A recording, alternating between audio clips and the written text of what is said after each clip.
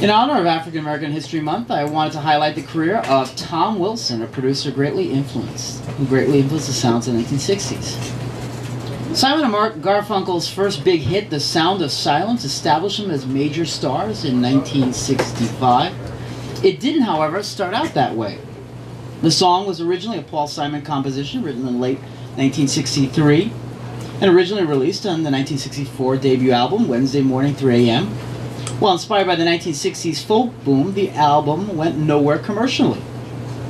Then the album's producer heard that college students were increasingly requesting to hear the sound of silence on radio stations. Later, possibly in response to the electrified folk sounds of the Byrds' Turn, Turn, Turn, he decided that by adding drums, electric guitar, and bass, it could sell. By December of 1966, the song had reached number one. That producer's name was Tom Wilson. Thomas Blanchard Wilson Jr.'s background may have made him the right man for that place and time.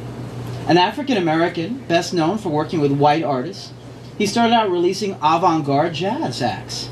Born in Waco, Texas, he came from a comfortably middle class family with deep connections to music. He first attended Fisk University in Tennessee, an historically black college. Eventually, he transferred to Harvard, where he studied economics and was head of the local Young Republicans. After graduating cum laude, he launched his own record label, Transition Records.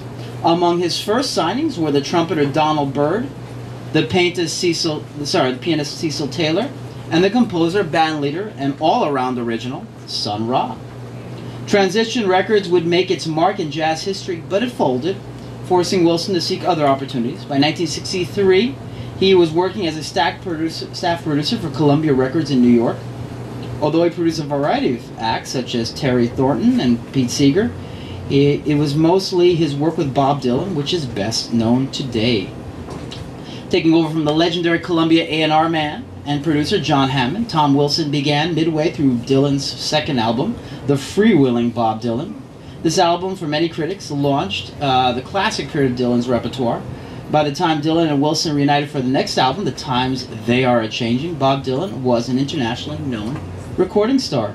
The two would work together on two more full-length albums, Another Side of Bob Dylan and Bringing It All Back Home, released in 1964 and 1965. This recitation, however, understates the importance of this period in Dylan's career, which ranged from such classics as the title track of The Times They Are Changing to the wry and satirical Subterranean Homesick Blues. Dylan transitioned them from an acoustically based folk singer to a popular songwriter and recording artist who employed electrified sounds of the mid-60s rock and roll to classic effect. And arguably the most famous example of this was their last collaboration together, Dylan's 1965 hit, Like a Rolling Stone. Released in 1965, Like a Rolling Stone was voted number one on Rolling Stone's 500 greatest songs of all time, hailed as possibly the most important song not only of Bob Dylan's career, but also the post-war pop music. It has been covered by artists ranging from Cher and Judy Collins to the Rolling Stones and Green Day. With its six-minute length, brilliantly biting lyrics, and amazing work, bluesy and folk sound, like a Rolling Stone was unlike anything which appeared on popular radio up to that time. Dylan's lyrics and sustained delivery speak to a sneering anger about the song's subject, yet its ambiguous tone leaves one guessing as to how things will turn out. In addition to producing Like a Rolling Stone, Tom Wilson also played an unexpected key role in its instrumentation. He invited guitarist Al Kooper to the recording. Not content to just watch, Kooper slipped out of the control room to play with musicians, although by his own admission he made up his part on the Hammond organ. When the tape was played, Dylan insisted on turning up the organ. That part has become integral to the sound. In retrospect, one wonders if Tom Wilson knew all along that his innovation might bear fruit. Regardless, he arranged a great match. Al Kooper wound up playing organ on other Dylan tracks, including the next album, the legendary Blonde on Blonde. By early 1966, Tom Wilson had left Columbia Records to head A&R at Verve MGM. One of his first signings would be the very significant California-based progressive band, The Mothers of Invention, led by guitarist and chief organizer Frank Zappa. The band's debut album, Freak Out, would not only be released, it would be the second double album ever released in history. Although it was initially only a modest commercial success, Freak Out is acclaimed as a seminal cult album with such tracks as who are the Brain Police, and the return of the Son of Monster Magnet, which rocks out at over 12 minutes and return return references Suzy Creamcheese.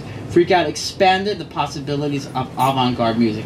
Should also mention, of course, Tom Wilson produced uh, the first album for the Velvet Underground back in 1967. Uh, it is sad when you think of such a tremendous artist, how so many uh, people have not remembered him. Meanwhile, we have to accept that the band Kiss and not Tom Wilson is enshrined in the Rock and Roll Hall of Fame. Thank you. Wow. Great story. Man.